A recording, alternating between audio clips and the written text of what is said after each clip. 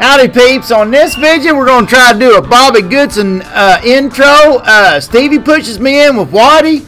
Uh, while we set the boom with the skidder, we uh, managed to uh, blow us a hose trying to get the uh, boom set. And But Stevie loads up Chris while I'm fixing the blowed hose on the big skidder. And get back up and running and get mama set up. She's cribbed up and ready to rock and roll with the yard with two uh, machines in it. Hope y'all enjoy.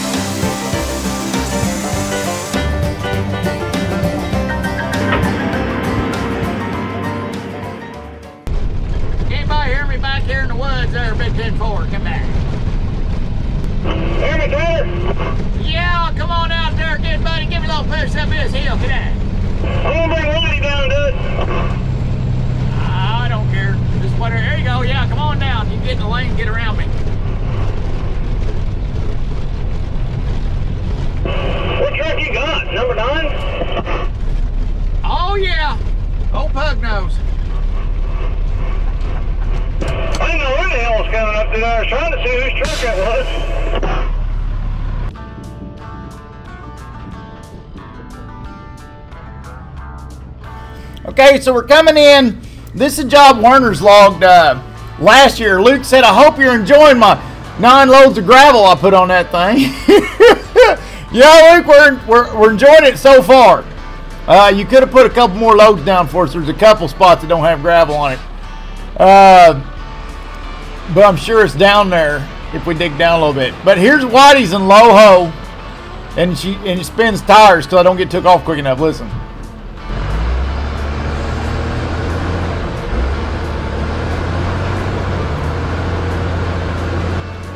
Stevie got ready goes, Oh my god, I'm back here burning rubber, he said.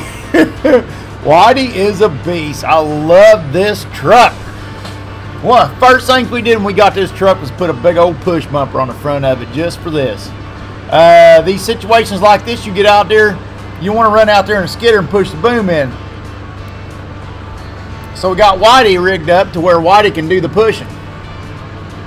Whitey's got a transfer case, and you can put it on the low side so it's easy on the torque converter. Now, a lot of people say you should have a manual transmission in that truck, and no. I don't want a manual transmission in an off-road truck. I want a torque converter. Because that's what's going to get me uh, put the power to the ground without spinning and uh, axle hopping.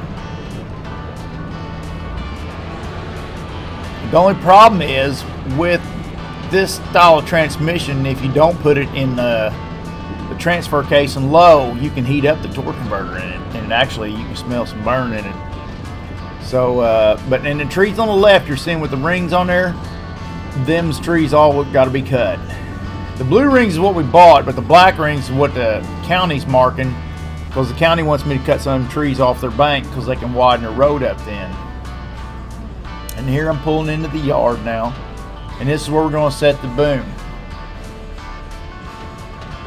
where Big Daddy's got scraped off with a dozer. Now I'm going to grab it at 90 degrees with the big grapple. As you can see, Stevie's been yarding for a couple days with the den den. He's about stacked in.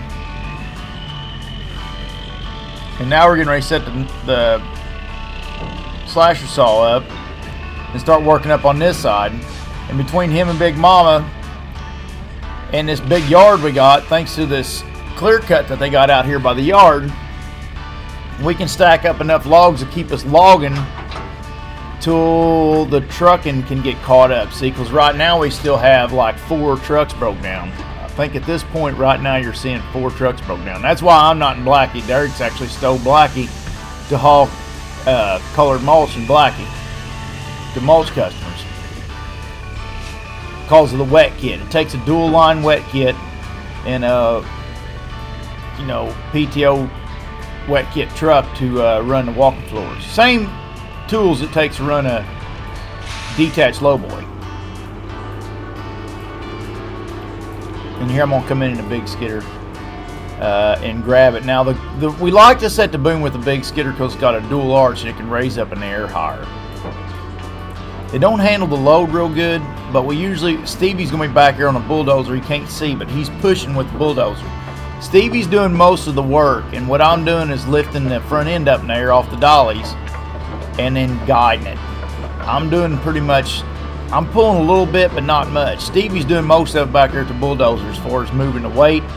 I'm mostly just carrying the front end and, and steering it in with this skidder.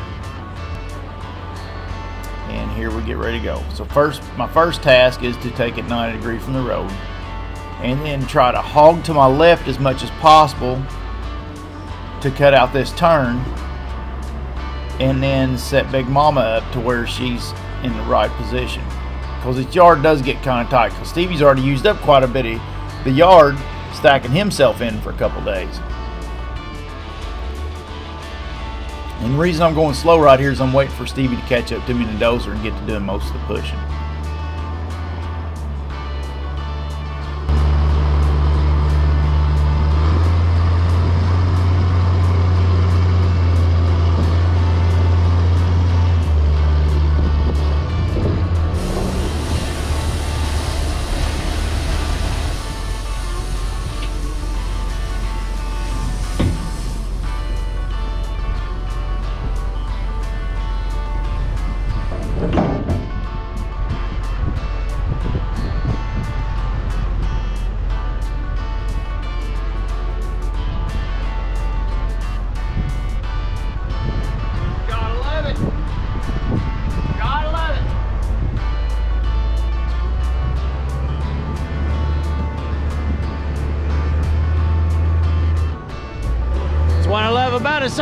Manufacturer run your hydraulic hoses in a ring that cuts them. That's a good idea. Let's try that. So what we're going to do now, Stevie grabbed Junkyard Skidder. It's a single arch. Now the thing with single arch is if you're going to move with a single arch, you got to jack the dollies up. But we only got 10 more feet to go, or 15. We don't want to pick the dollies up, so Stevie's backing his left tire up on that log pile to give the single arch a little bit of height. Now, we've traded places, and I'm on the bulldozer now. And I'm going to let Stevie raise the front end up there as high as he can and not pull on it because it'll pull down on the front end of the boom. And Chris is watching us so we don't tear the dollies off this thing because they're swung down right now. And see how Stevie dropped down? Chris stopped us. So Stevie's going to have to let go and get his, butt, his rear end of the skidder back up in the air so we can go another five, ten feet. And then we figure it's set. That's why he's driving over the trees over there. He's using that to get the skidder picked up off the ground. So when he clamps down onto the tongue, it's raising the tongue up high enough. Single arch carries the weight really good. If we're going to go down the road or something, I'd rather pull it with the single arch than the dual arch. Because the dual arch, we don't have the big bore kit on our cylinders and it don't actually carry the weight real well. But these single arches carry the weight great. They handle the boom great. Junkyard Skidder handles the boom great, but it just don't carry it high enough. Now we're gonna go forward a little bit more, and Chris just ends up. Chris ends up being the one that stops us. He's like, "All right, stop there before you tear the dollies up." So we decide, heck with it. This is where we'll set the boom at. So this is where the boom's gonna set. And Stevie's gonna drop it. And uh, I'm gonna get on the boom and we're gonna start setting this thing out and cribbing it up getting it ready for Big Mama.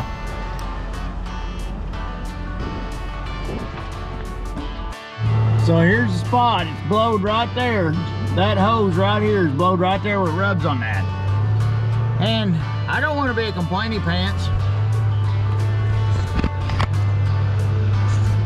my goal ain't to make people look bad. Back on it. Uh, that's been a good skidder for us. We're happy with that skidder. And that skidder Roger's driving's got over 20,000 hours on it. So we've been, we've been around these, put it this way, we've been around them a while. But now that, that's my complaint.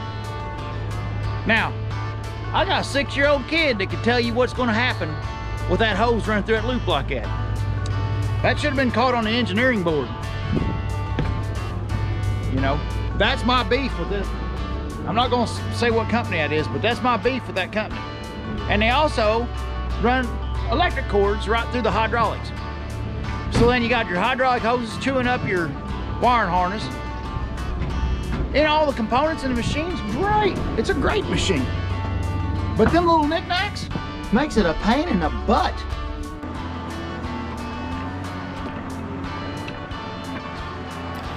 I wanted to set the camera up and capture this view. I never did really show us using a grapple any. Well, this is the first we've used the grapple since I done the uh, work to the pins and bushings. Now, at the point I'm editing this video right now, we've used it on a couple jobs, and it actually is working really good. It's really a sweetheart to use again. It ain't so daggone clangy, and you know you can hear a rattle out grapple. You listen to some operating knuckle boom, you can hear a rattle out grapple. And this grapple sounds snug. It sounds good.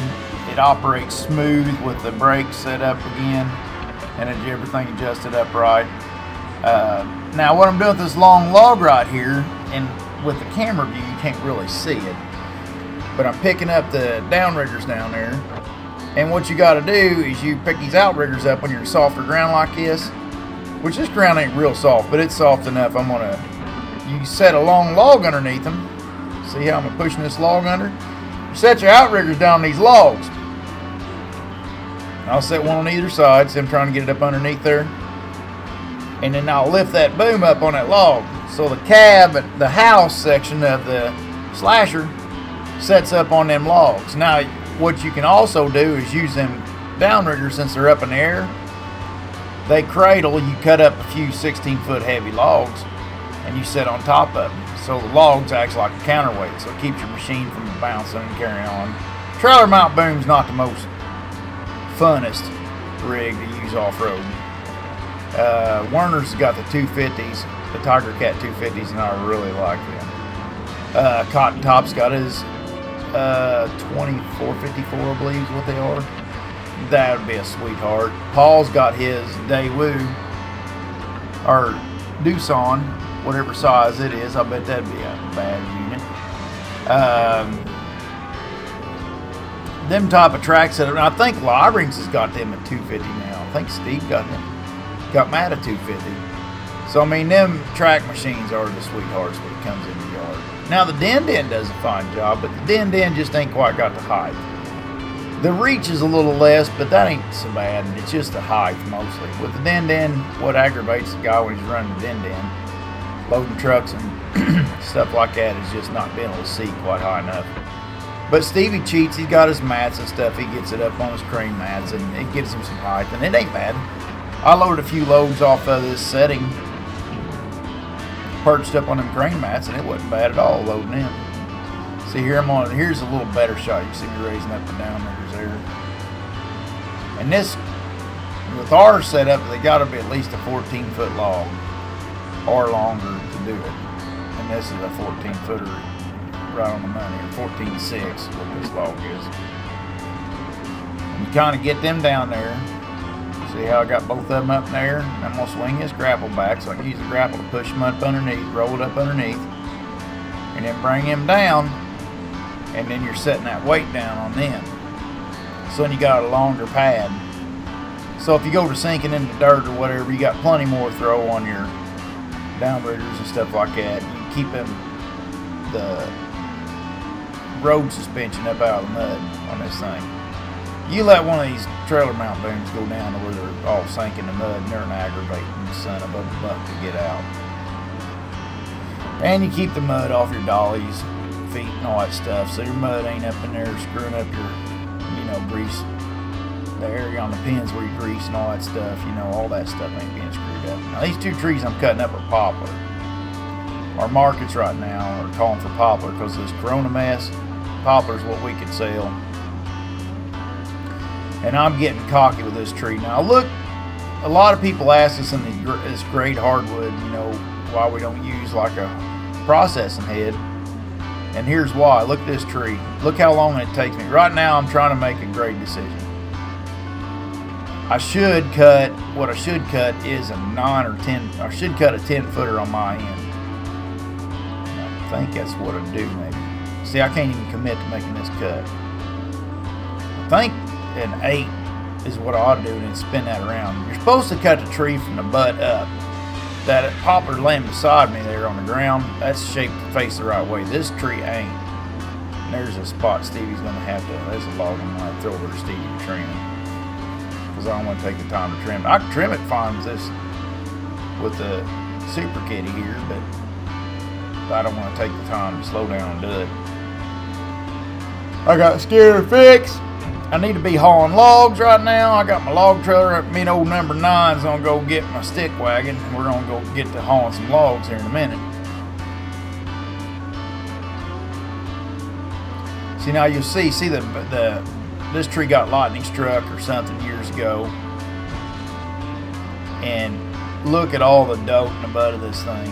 The butt log needs a 12 footer is what the butt log needs to be. I don't think I quite got a 12 footer there looks like I cut it at a 10. Look at that second log. It's going to take sawing this log and doing the upgrades and stuff on this log is going to be, these two logs come off this poplar tree is going to be a little bit of work because the, and what it needed was some length. And that top logger just set down, I think it's an eight footer. And an eight footer on a grade log that's got face lumber in it, which is what that might have a little bit in if you earn it that's not good because they don't give you much length for your upgrades. You got to have length on your bottom part logs in your tree. Enough to make upgrades, which your shortest board for a good FAS board, your shortest you can be is 8 foot. But you usually like to have at least a 10 foot log on a grade log. So that gives you 2 foot uh, trim or gobble up or whatever if you got a little defect on the end or something or you or what have you. It gives you room to work with to make to upgrade that board. That second log I think I cut a 14 footer. And I'm throwing them down making me a stack to where I'll stack these heavy trees up on the downriggers there. Now the last couple cuts I'd say we got a 10 and an 8. And I put that 8 on the lower grade side of the tree because that's going to be one common cuts down there anyways. And then com one common cuts, you can take you all the way down to a six footer if you had to, which ain't gonna be necessary because that's a good looking tree. That's gonna make a good one common lumber. I doubt there's hardly too common until you get down low on the close to the hard.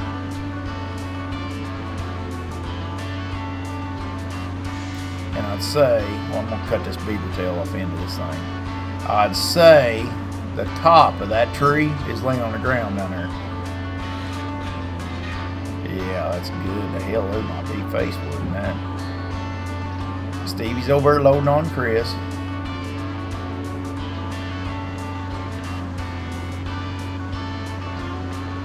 Having two rigs in the yard really helps. Say, yeah, I see. Look at that. Oof, boy, that's a rough tree. I don't think there's any. There might be a little bit of face in that log, but I doubt it. I think that's all one and two common maybe even three. Well, we don't have three poplar right now, so it'd be one or two common or cull. And that top log I just cut is two common in color. I don't know. There might be a couple one common boards in there, but not much. I'm just going to cut that scrap off the end of that thing. Now, you can do plenty good trimming with this saw, especially an experienced operator like John, that chipper guy he'd be good at trimming this stuff. He's got a hand fab saw like ours on their new Serco boom. I think he got a Serco 300, didn't he? Does anybody know? Comment below. I think it's a 300. That'd be a pretty good rig that he got. That Cook's got, you know. There's a lot of good equipment being used logging that right now we all, as a logging as a logging industry, we can't do a lot of complaining. I don't think we got a lot of good equipment out there running. All of us do, and we're running the older stuff for the most part. So if I'm sitting here t- talking about how good the equipment is, and we're running the older stuff, that's saying a lot of good about a lot of other people. Now, that truck there Chris is driving, that thing's been totaled once or twice that tells you where how we are on our trucks. That's not the original cab. or hood for that truck. That's a whole new body. That's a different body on that truck on that frame. I think that's a second cab and a second hood on that truck. That hood we got for that truck, that is actually a new hood for that truck. And the cab come out of a, uh, I think a sleeper cab converted to a day cab. I forgot where we got that cab for that truck. I can't think of it for the life of me. But Hank down there at Hank Science, he painted it. What a good paint job. Uh, see if we can pull her out of here. This part's gonna suck, I promise you. All right, come on. Left my wrench on the other side. Oh, come on.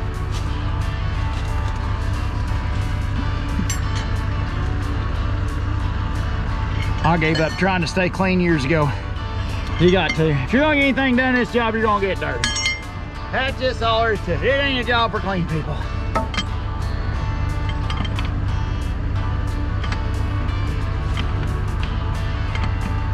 Come on, you son of a buck, while you fight me the whole way.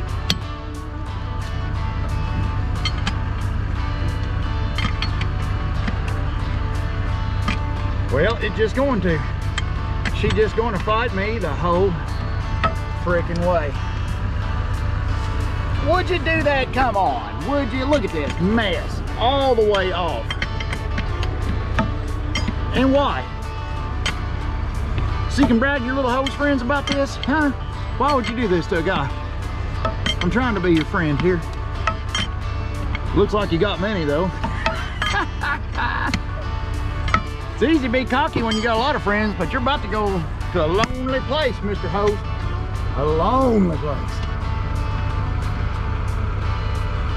Okay. I will say one thing. This company here did get me off on them flat face fittings and I love them. I brag these things up like crazy. All right, here we go. See if we can get them pulled through. Okay, gonna have to yank it like a demon. Hey, oh my. Well, there's a culprit. Now I wonder if that was a chafing issue. And I wonder if the chafing issue come from the fact that it's put through that ring.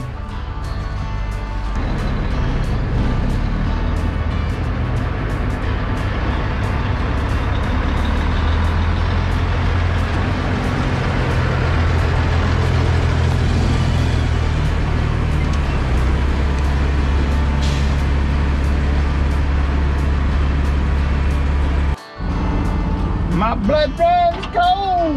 My memory had just been sold. Angel is a centerfold. Angel is a centerfold. All right, I gotta do this kind of funky wonky. Let's see.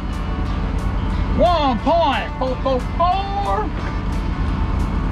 Where is my dadgum? Roger! Sitting in my daggone bucket. If it had been a snake, it'd have bit me.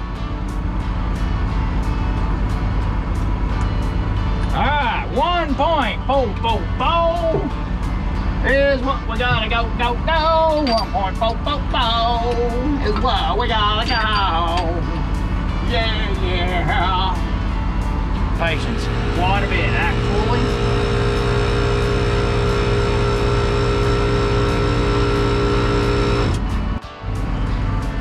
All right, I'll give you a quick tip for the John Deere guys out there. Uh, you got your skidder making a howling racket in here on a grapple skidder, on these old grapple skidders. Take you an old pair of cutter pants. Me pull this off. See it? Shove an old pair of cutter pants in there. Then when you put your outside guard on, them cutter pants insulates it from this guard. The hoses against this guard's what's making your cab rattle. So you stick that insulation in there and it'll quit. It'll quiet down in there. All right, we're all fixed up. Let's go back and help Haji Dodgy. Hajo needs all the help he can get. My Lord, it is soft, soft, soft. This skidder ain't a fast skidder to start with, and it's got this old boy slowed way